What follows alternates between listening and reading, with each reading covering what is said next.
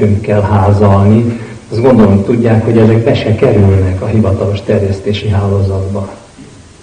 Tehát azért az a védelem elég jól zár, egészen véletlenszerű, ha nem figyel oda a beszerző, akkor egyet-egyet ezek közül mondjuk lehet látni, teszem azt a, a, a Librinek a, a könyves polcain, de egyébként például a Libri hálózat az mereven elzárkózik ezektől. Tehát itt úgy, úgy vágták ki a, a mondjuk egy, egy Szent Korona előadást megörökítő kazettának a, a terjesztőjét, hogy a lába nem érte földre. Tehát azért ők eléggé tudják, hogy hol van az érték, és mitől kell megvédeni a magyar olvasóközönséget. De ezzel együtt, hangsúlyozom, harmadik kiadás, és méghozzá nagyon rövid idő alatt. Ez azt jelenti, hogy valóban nagyon megnőtt egy, egy érdeklődés a téma iránt, és már tudomásom szerint a második kiadáshoz ért az a Szántai Lajos mese amit itt adtunk át Szántai Lajosnak 40. születésnapján. Tehát ez a Világszép Nátszák kisasszony című meselemzés példaszerűen szép, és közben már megjelent egy új, amelyet Makoldi Sándorral együtt írtunk Dunaisten keresztfia címmel, egy mesének a, a két oldalú, tehát mind a ketten más-más szempontok szerint elemeztük. Most ez a sorozat folytatódni fog. Általában az ilyen irányú kiadványokat egy kicsit nekünk kell megkeresni, bár meg kell mondjam, hogy a könyvterjesztőink, akik itt kint hát árulják a könyveket, ők nagyon jól beszerzik ezeket, tehát igazán nem hát haragudjunk rá, illetve hát segítsük a munkájukat, mert, mert áldozatos tevékenységet végeznek. Tehát ha ők nem lennének, ez igazán nem tudná eljutni a, a, a közönséghez. Na akkor a bibliográfiában tovább nem riasztom a tisztelt jelenlévőket, ennyit viszont muszáj volt elmondani. Akkor lássuk az első témát. Ennek a összefoglaló címe az így szólt, hogy természetes társadalom, szerves műveltség. Na most ennek a témának egyet az ilyen keretben való tárgyalásnak nagyon nagy múltja van. Tehát itt megint fölfigyelhetünk arra, hogy, hogy valóban nagyon sok minden változott. Ez, amit én most föl fog, mert nem felolvasom, csak amiből, mint puskából fog dolgozni, az például ilyen dátumot visel, és ezek hiteles eredeti dátumok, nem utólag dátumoztam, hogy 1988-90. És akkor döbben rá az ember, hogy voltak éppen ezek az elnyomatási korszakok, mert ebből 88 az még bizony keményen a Kádár korszak. Ezek azért sok mindenre jók voltak, és az a gond, hogy nem használjuk ki az elnyomatási korszakokat. Jelenleg például egy ilyenben vagyunk. Tehát eh, ahelyett, hogy, hogy valóban elmélyednénk és, és mélységében gazdagítanánk a tudásunkat, helyett nekiállunk hőzöngeni, idétlenkedünk, hát cikizzük az adott politikust, ráfér, tehát nem arról van szó, hogy nem érdemli meg, hanem arról van szó, hogy sokkal hát fontosabb dolgokra is pazarolhatnánk az energiánkat. Nem érett annyit ez a nemzet, amennyi ideig elnyomták. Egy ilyen idejű elnyomásnak sokkal nagyobb fokú érés kellett volna, hogy a következménye legyen. És az ember érzi, persze, hogy érzi, hogy ez az érés van, működik. Tehát gondoljunk csak egy Szent Korona szertartásra karácsonykor, vagy akár egy dedikálásra, ahol emberek hát hideggel, rossz idővel dacolva a szeretetüket mindenáron ki akarják nyilvánítani. De, de hát szóval még nagyon sok, sok van hátra. Tegnap éppen Tapolcán volt egy, egy előadás, és ott beszéltük meg, hogy, hogy a legfontosabb tendő jelenleg azon a visszásságon segíteni, hogy nagyon szeretne az emberek nagy része megvédeni egy örökséget, tudja, hogy nagyon nagy veszélyben van ez az örökség, tehát ha betagoznak bennünket az eurómajmok ketrecébe, akkor az, ami a mi igazi műveltségünk, az komoly veszélybe kerül. De nem tudja, hogy mi az az érték, amit védeni kell de a legnagyobb résznek, a legjobb szándékoknak is még csak halvány sejtelme sincs róla. Szlengek járnak közöttük.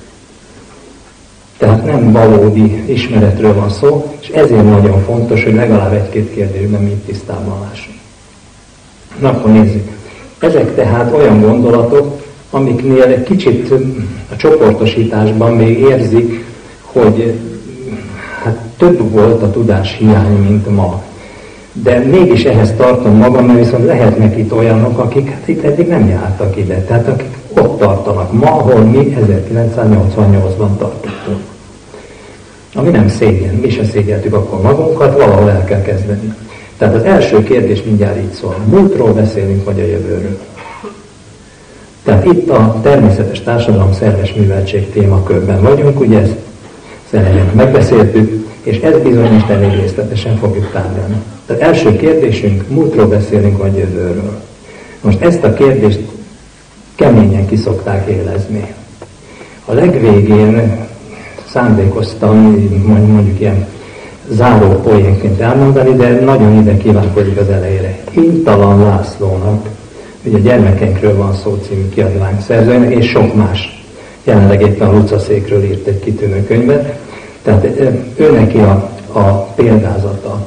Egy kicsit átalakítottam, mert talán az első fogalmazás egy kicsit gyümölcsösnek sikerült. Lényege a következő. Azt mondja, végighallgatják azt, amit mi mondunk, mondjuk, ha innen hazamennek otthon. És akkor a következő az első reagálás, vagy mondjuk az iskolában. Tehát mondjuk hétfőn elmennek az iskolába, első lelkesedésből a kollégának, igazgatónak elmondják, hogy mi volt. Mire ő hogy reagál? Azt mondja, jó, lehet, hogy ez jó, amit mondasz, de ez a múlt. És a múltat nem lehet visszahozni. Tehát ezt a, a szlenget, ezt a a mondatot, ezt feltétlenül tárgyalnunk kell, mégpedig mégis úgy döntöttem, hogy itt a legelején. Most erre, mert Hintalan László a következő példázatot mondja. Három kérdés következik. Azt mondja, hogyha egy gyermek eltévedt, és én hazavezetem, azzal a múltat hoztam vissza? Második példázat.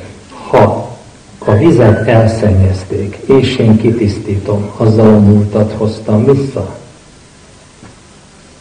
És harmadszor, ha én összeveszek a barátommal, és utána kibékülünk, azzal a múltat hoztam vissza. Most akinek ez a három példa se elég, annak nincs itt a helye. Csak ezt tudom mondani legnagyobb udvariassággal, de nincs itt a helye. Tehát aki a múltat kiátsza a jövő ellen, a jövőt kiátsza a múlt ellen, annak a jelene sem igazi, de nem is érdemli meg. Tehát itt teljesen nyilvánvaló, hogy ha egyszer megraboltak bennünket a múltunktól, ami így igaz, ahogy mondom, és folyamatosan próbálnak megrabolni, és én ezt visszakérem, ha nem adja vissza, hozom, akár erővel, azzal én nem a múltat hoztam vissza.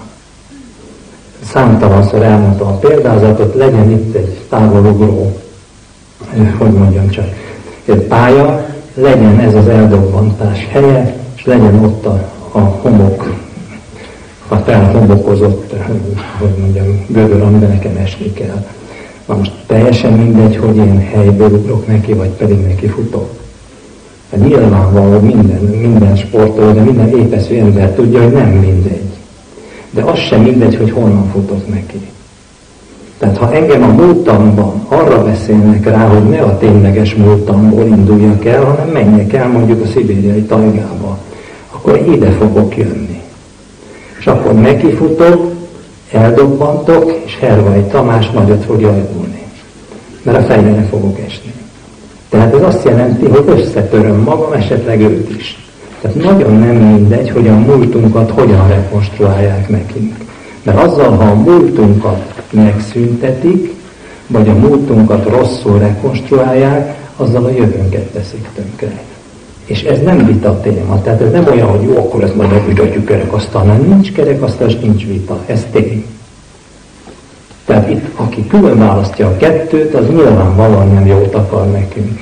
Amikor a történet tanítást meg akarták szüntetni, és elég komoly veszélyben volt a magyar történet tanítás akkor annyira nyilvánvaló volt, hogy jövőnket akarják elvenni, hogy ezt már nem merték. Tehát itt azért a pedagógus társadalom aránylag bátran viselkedett.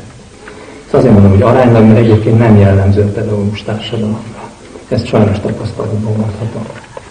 nem egészen az egyéneken múlik, hanem mert eleve olyan szervezeti rendszer dolgoztak ki neki, ahol, hát hogy mondjam, csak az ellenfél játékosai álltak be a mi sorfalunkba, tehát nem nagyon tudtak magyar pedagógusok valódi akaratuk szerint működni. Remélem, hogy múlt időben beszélhetek.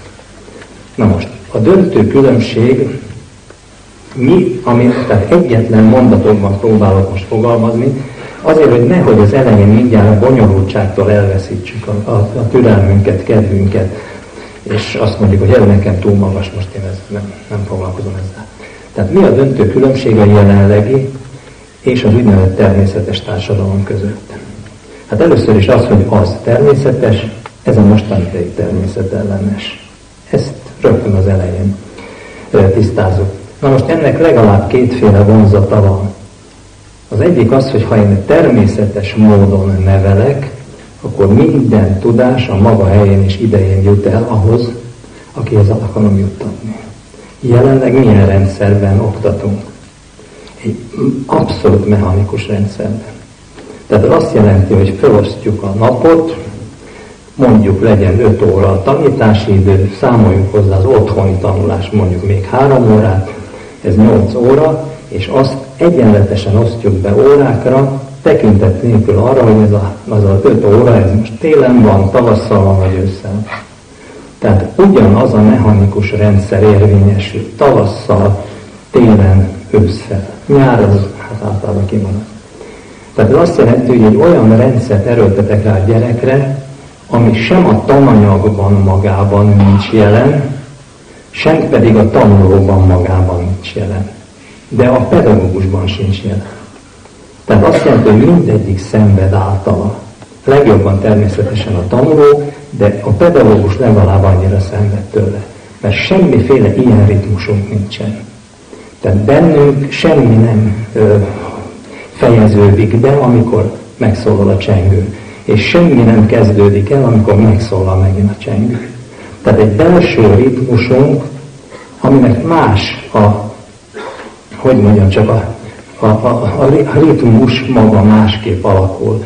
Egy tavaszi időszakban, mint nyáron, össze, mint télen, az ugyanabban a merev rendszerbe van belekényszerítve minden évszakban, és azon belül minden egyes rész időegységben. Tehát azt jelenti, hogy mi definíció szerűen csak sérülünk elejétől végig az egész oktatási rendszerben. Most ezt sejti meg a gyerek, amikor iszonyan és csillapíthatatlan bőgni kezd, amikor elviszik az iskolába. És, és csak nagyon nehezen lehet föloldani, tehát rávenni arra, hogy ezt az igát mégiscsak vegye a nyakába, pedig mindenki tudja, hogy ez igaz.